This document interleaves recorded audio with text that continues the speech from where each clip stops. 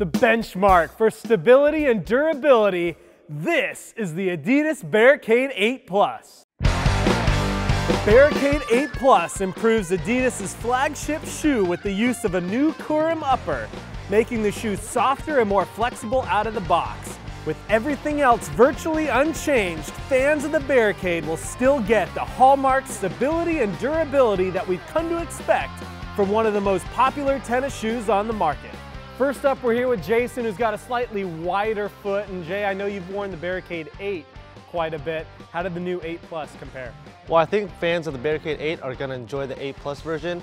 Um, I felt like this version, uh, the uppers were softer, it took less break-in time, and it just overall improved the feel and comfort and the flex of it. Um, I also felt like the cushioning around the ankle collar was improved. It felt a little bit more plush there.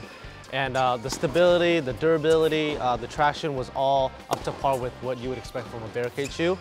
What I was most disappointed in was that Adidas didn't address the toe jamming issue with the Barricade 8.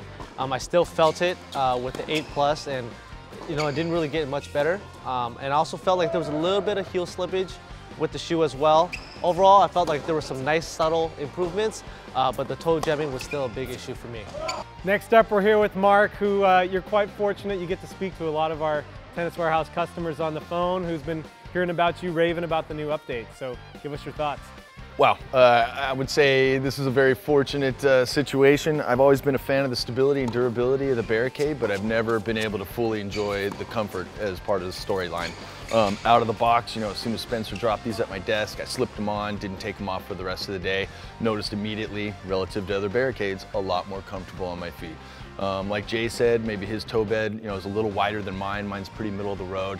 I did feel like it's a snug shoe, but the upper was pretty pliable. So each time I was playing, I was noticing that when I snugged the laces up, I had less tongue exposure. So it's definitely a more comfortable out of the box shoe.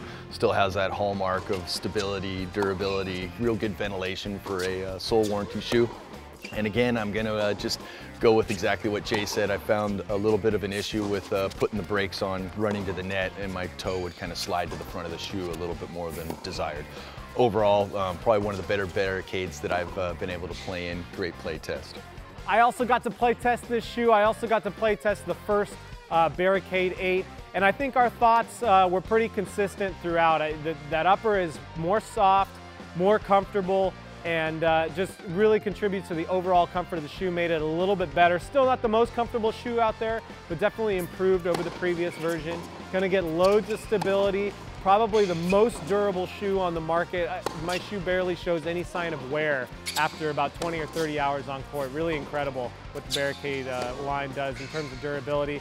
I also, like the guys, had a bit of an issue with the toe jam. I thought it was slightly improved over the last version, but it's definitely still there and something I'm aware of. So overall, nice update to the Barricade line. I think it's an improvement over the previous version, but I still think there's a little ways to go.